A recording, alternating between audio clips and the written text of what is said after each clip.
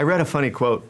You said that you'd gotten off Coronation Street and had played that character, and people saw you that way and thought that's what you could do, and, and you were like, "Come on, I'm I'm 18. Don't Yeah. let me show you what I can do here. Don't typecast me." And and it, it brings up such a it's the double-edged sword of any success, right? That once you have a little bit of it, people only want to see you that way, or they want to put you in that box. I mean, how does that feel for an actor to to sort of get that feedback? It was again, well, like you say, a bit of a double-edged sword because I got with my agent in the UK, who I'm still with now, from doing the show because he's a fan of the show and he's one of the top sort of three agents in in the country, and you know he's taught me that there's so much more, you know, because if they'd have offered me another year, I, on the show, I would have taken because I didn't know what I was doing. I, I, I didn't have any sort of concept of um, manoeuvring a career long term or anything like that You just wanted to work. Yeah, I was I was happy to have a job, you know, and um, so at eighteen, my agent sort of said, "No, it's great that you're leaving because I would want you to leave anyway. However much I, he loved the show, he's like, for you, you need to."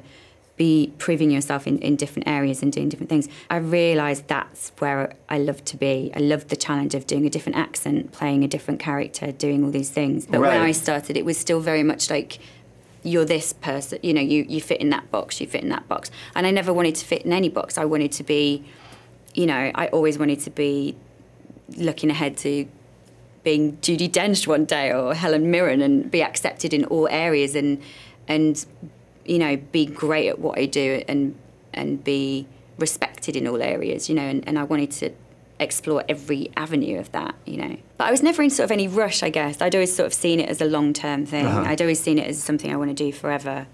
So, yes, it's, you know, of course, there's times where I've gone, mm, I don't know if I can keep doing this. It's really hard, you know.